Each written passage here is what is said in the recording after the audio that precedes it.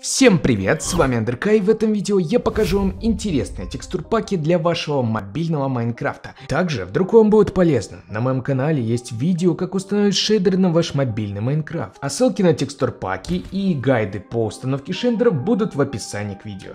А первый текстурпак у нас будет называться Death Bijox. Первое, что бросается в глаза сразу, это изменение интерфейса. Он теперь будет золотистого цвета. Блоки травы стали более детализированными, что радует глаз. Не обошли мимо и древесину деревьев, она выглядит достаточно интересно. Большинство ванильных блоков изменено. Для экономии вашего времени давайте просто пролетимся по всем остальным мирам Майнкрафта и посмотрим в целом, что изменилось. Все текстурпаки видео тестировались на Майнкрафте с адским обновлением. Можно сказать, что этот текстурпак рабочий, он изменяет и ад тоже.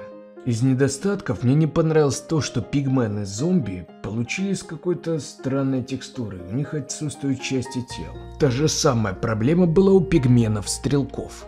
Далее я проверил других адских существ, у них проблем с текстурой не обнаружилось. Вот так вот выглядит край. Камень края и бедрок выглядят необычно.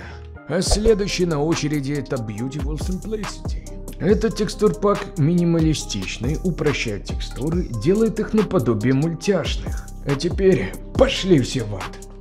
С этим текстурпаком руды выделяются. Стоп! Видите, тут такая же проблема у зомби-пигменов и пигменов-лучников. В целом впечатление нормальное. Мультяшный красивый ад. Краю давайте посмотрим на камень края и на портал из Бедрока. И мне не понравилось то, что высокую траву никак не переделали, и на фоне блоков травы она смотрится странновато.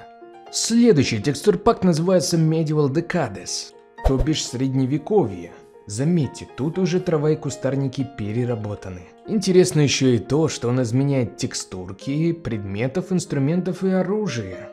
Давайте немного пройдемся по блокам, какие тут есть вообще и изменились ли они. Очень красивый светокамень. Наконец-то в аду у пигменов зомби и остальных появилась рабочая текстурка, без отсутствующих частей. Ад конкретно выделяется, изменения чувствуются, гравий он выглядит совершенно по-другому. Также обратите внимание на растительность в аду, насколько она детализированная и красивая. Неплохой текстурпак, атмосфера средневековья чувствуется, то что и написали. Пошли в край. Тут хотя бы бедрок выглядит нормально. Камень края изменен, но не сильно выделяется. Еще один мультяшный текстурпак Plain Colors. С этим текстурпаком слоты быстрого доступа изменились. Пробежимся немного по миру. Некоторые текстуры предметов и оружия тоже изменились. Коротко о блоках. Большинство максимально упрощено. Давайте осмотрим ад. Вот такой вот песок душ. Вот такие вот переделанные темные гасты. Давайте просто молча посмотрим на красоту этих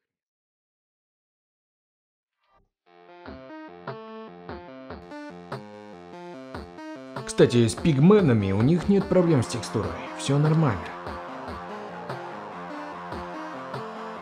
Посмотрите, какой интересный портал в край получился. Край особо ничем не отличается, разве что бедрок сложно отличить от какой-то серой глины. Лулукрафт – очередной мультяшный текстурпак. В этом текстурпаке была проделана очень большая работа, Первое, что бросается в глаза, это измененная полоска слотов быстрого доступа руки. Обратите внимание на листву деревьев, она изменилась. Многие про это забывают, делая упор лишь на блоки, либо на иконки предметов. Собственно, про иконки и интерфейс. Сама менюшка, как вы видите, изменилась на приятный фиолетовый цвет, и у большинства предметов есть своя новая текстурка. А я же предлагаю нам сделать портал в ад и посмотреть, что там. Портал и зажигалка изменились. В этом текстурпаке у мобов все нормально. У некоторых слишком. Посмотрите на Гаста и на скелеты сушителя. И на этого карапуза.